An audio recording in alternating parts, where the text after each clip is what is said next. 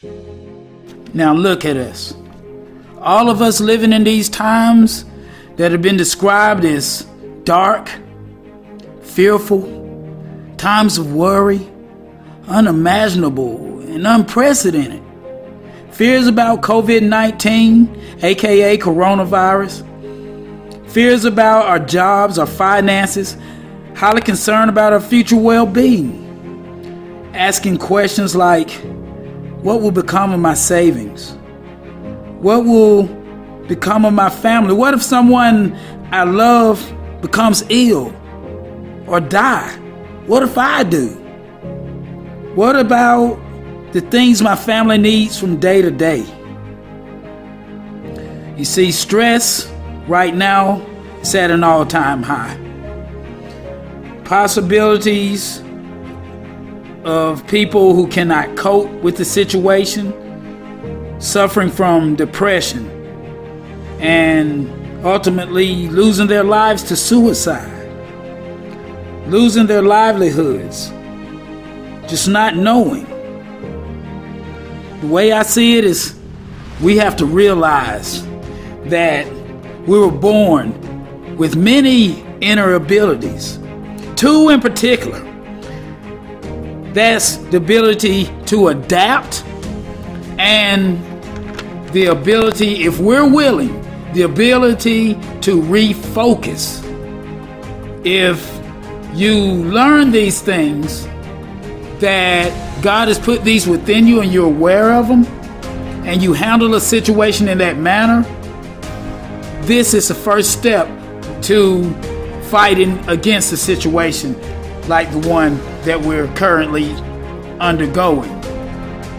Explore your gifts, be creative. All the things that you've been through in life, think about them. Think about the awkward situations that you had to adapt and refocus in. Think about times that you may have hurt one leg and had to put all the weight on the other leg. Think about maybe you broke your arm and had to use the other arm.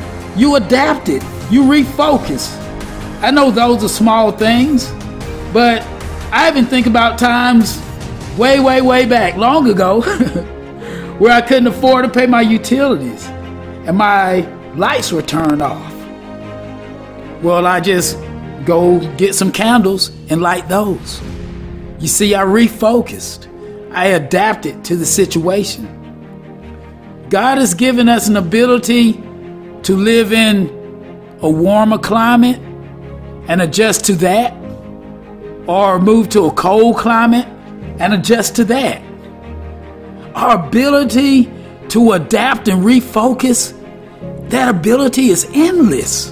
And I know that many people are still wondering how do you adapt to the fear of losing your life or a loved one losing their life to this terrible virus. The only defense for fear that I see to reduce it is knowledge. Because, see, you got to be careful with that fear thing. Because fear can create things worse than COVID 19 in your life. Believe it or not, it can create stress. Stress leads to things like heart disease, it can lead to diabetes, high blood pressure. And you know that stress has always been known as the number one killer. You can let a situation get so far into your head that you attract illness to you. And being aware of these things is the first step to adapting and refocusing.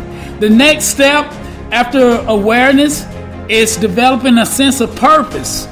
A sense of purpose will give you that drive that keeps you in a positive mindset to make you realize that there is hope.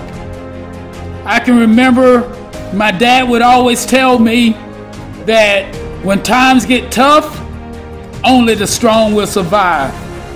Be strong, people. Realize that you are a survivor. You're designed to adapt. Refocus. Be willing to adjust to the situation and make the best of it to keep your family safe and let them know that trouble don't last always it shall come to pass. Just like anything that you've been through in life. We're on what they're calling a new way of life. Look at this as a new day and age, the beginning of a new tomorrow that you will create for yourself by refocusing, redirecting, and creating a new path. Adjust, adapt, and refocus. I'm Hurricane Main, and I thank you.